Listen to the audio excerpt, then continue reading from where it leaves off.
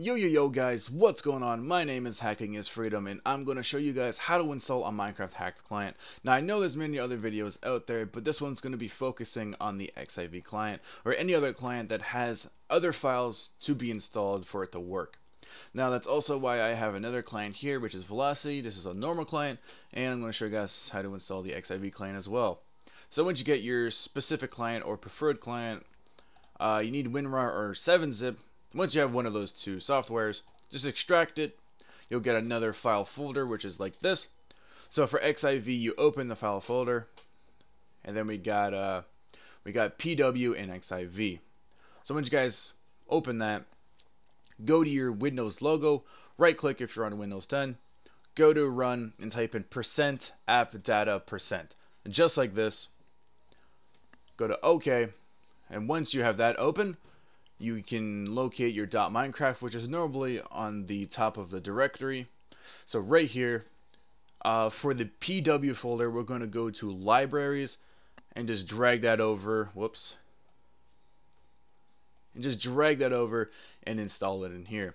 I already have it installed because it's right here. So just drag that over.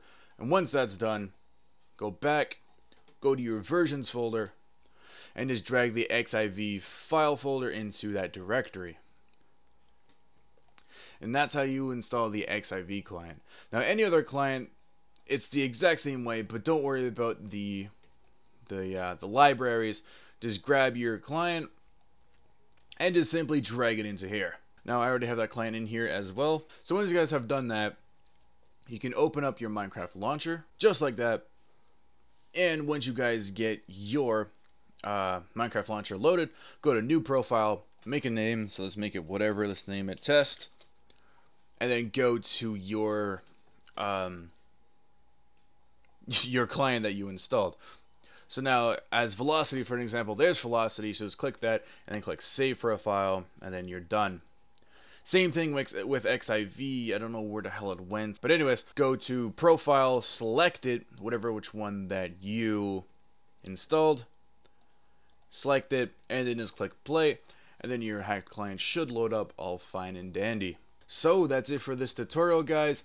If you enjoyed the video, don't be afraid to hack that like button, subscribe if you guys are new, and I'll see you in the next video. Bye bye!